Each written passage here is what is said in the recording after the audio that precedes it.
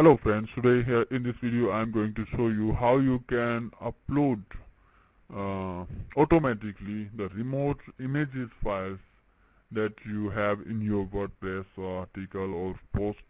This is required to avoid hot linking penalties from Google. If Google found any hot linking images from other sites, uh, it's not good for you, okay?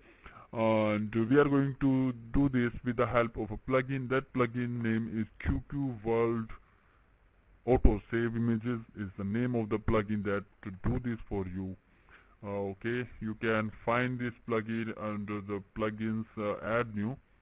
Once you under add new just type QQ World Auto Post and the search string and click search the plugin that appear first is the QQ World Auto Save image that we are talking about and this plugin is Michael Wang.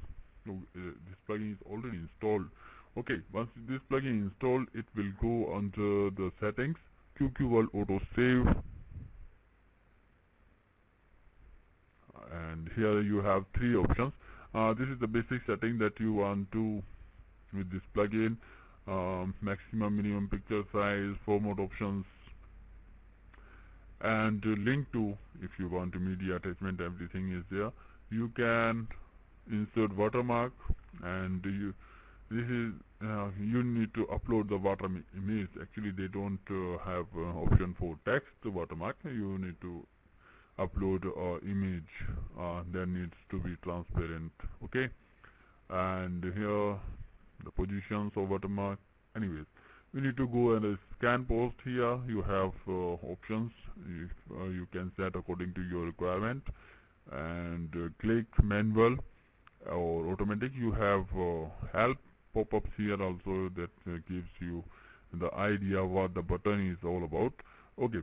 You can click automatic. It will scan all your posts for remote images. If they found they will get uploaded to your WordPress hosting. And this all this process is done automatically. Okay this is the speed. If the server is too much stretch may probably reduce the speed. Okay if you are using shared hosting then I would recommend to use only one because uh, to avoid uh, too much load on the server.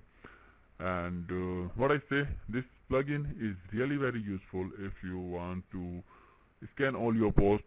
And one more thing if you uh, create a new post that have external images then you don't have to worry at all because once you click the publish button or auto save button it will get uploaded automatically to your WordPress hosting.